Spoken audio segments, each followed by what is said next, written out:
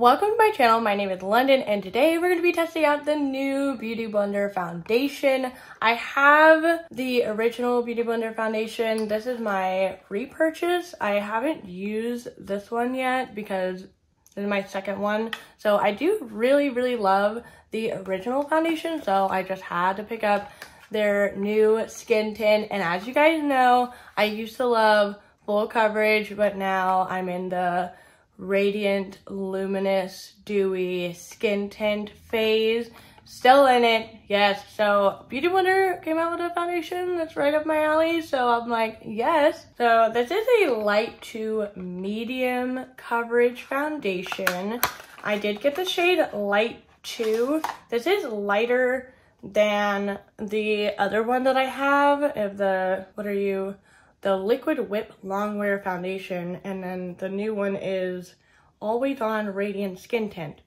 So this one I have in the shade 1.4, but it is pretty dark for me right now. And so I got like the second lightest shade because I'm a bit pale right now. So this one is $29 and this one is $40, but it's on sale right now for $20 on Sephora. I don't know if it's on sale anywhere else, but yes, light to medium coverage. The other one is full coverage with like a natural matte finish. This one has a natural radiant finish. We'll see how radiant it is. The last foundation I tried said it was radiant. I didn't really think it was that radiant. And it's also supposed to have a 12 hour breathable wear and apparently 100% of the 30 people who did the clinical trials for this said it wore up to 12 hours. I don't know if I could wear it for 12 hours, so we gotta give it a good shake. This isn't a dropper, which I'm not the biggest fan of because typically droppers, as you can see, it's already getting a bit gunky on the sides and I've only opened this thing maybe two times and it's already getting pretty gunky on the side. So not the biggest fan of that. And I did prime my skin with the Bad Habit Priming Moisturizer. This one, oh, I call it a priming moisturizer. This is a multivitamin moisturizer, but I use it as a priming moisturizer. Beauty Blender does have some primers, but I haven't used these in a while, so I'm sticking with what I have been using with my skin tints lately. All right, so I shook it up. I put just, uh, that looks like a lot. I just put like the whole little dropper on the back of my hand. And of course, I got a beauty blender. So let's just do one side. That is a lot more coverage than I was expecting. It is a little bit lighter, like where I'm more tan. If this does get a little bit darker, it would be perfect. But a little hard to find my shade online. All right, so here is one side with and one side without. It looks pretty good so far. I don't really know if I'd really call it radiant. Of course, I'm really picky with the word radiant. Because even like my natural skin, I feel like has just about the same amount of radiant as the foundation does. Let me zoom you guys in so you can get a nice good up close. Um, it feels really lightweight.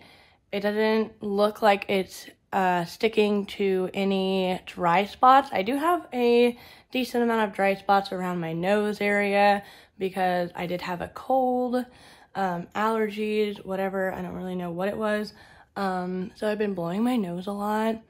And so I do have some dry spots, but so far it looks pretty good on my skin. It's not emphasizing pores. I'm gonna keep you guys zoomed in for this side. It spreads pretty easily. It works pretty well with a beauty blender. I'd be kind of concerned if it didn't.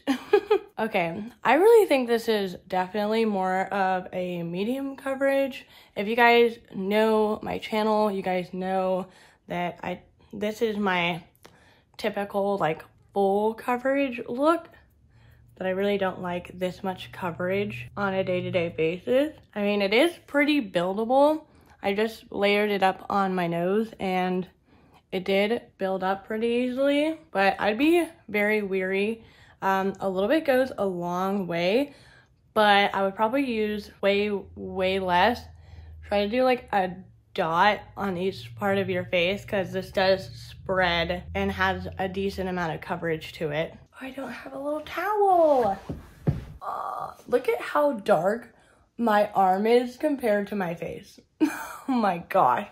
Uh, that's so bad. When I got this foundation, I tested it out on my hand and because my hand is so much darker than my face, I was like, this is gonna be so light, but we're fine. We're okay. All right, I'm gonna be using my YSL Radiant Touch Touche Eclat concealer. This one is a little bit of a lighter coverage concealer, but I've had this for a while, so I am depotting it right now, but I've also re-fell in love with it, so I have been using this consistently. I think I am going to set this with powder just a little bit, because I can already tell around my smile lines that it's gonna probably go into my smile lines, so I'm, I'm gonna set it. All right, so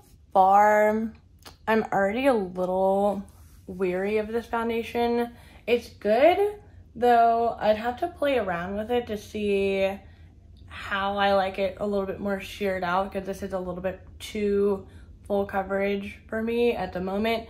Um, I wouldn't really say it's very radiant. It does feel lightweight on the skin, but I feel like you guys can see it's already starting to settle into my lines just a bit and also on my forehead lines it's settling a little too much. I do have a very, I, I use expressions a lot. So lines typically does happen with a lot of foundations for me. So I'm gonna do the rest of my makeup and I'll do another little check-in before we get into the wear test. Makeup is done. I finally got to dip into the It's a Mood palette and I absolutely am obsessed with the look that I did. I used the, I used the orange room.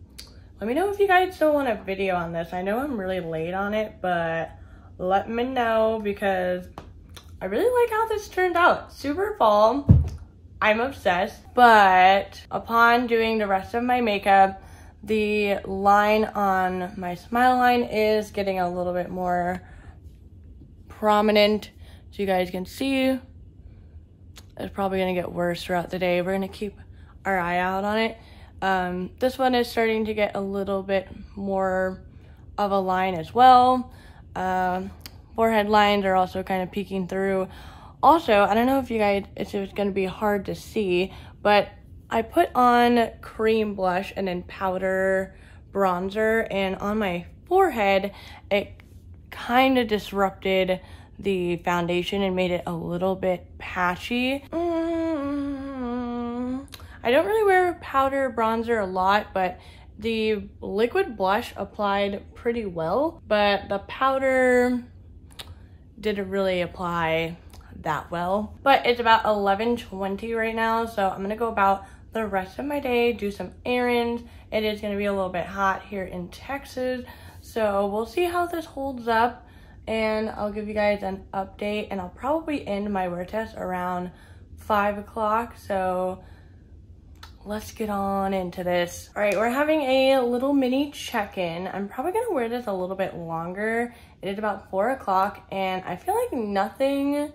has really changed about the foundation, hardly at all. I mean, maybe the smile lines got a little bit deeper, but other than that, it really hasn't changed at all that I can tell um, other than the lines. The spot on my forehead where it got a little patchy is still kind of patchy. I thought maybe my oils would come through, but my oils aren't really coming through with this foundation. I'm a little bit more impressed with how it was moving around uh, with my lines. I thought it was really gonna, my oils were gonna come through and it was gonna be a little bit of a mess, but we're looking good. Also, before I forget, if you guys want to check out another review, my friend Nessa CX Beauty, I'll have her video linked down below. She has more of a medium skin tone. She got the shade medium 4. So if you wanted a different perspective skin tone,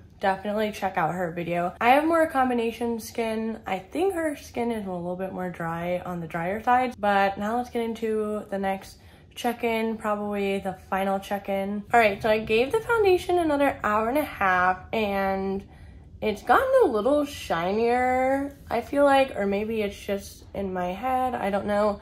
But I feel like just right here has gotten a little shinier. I was side a little bit more, so maybe that's what it was.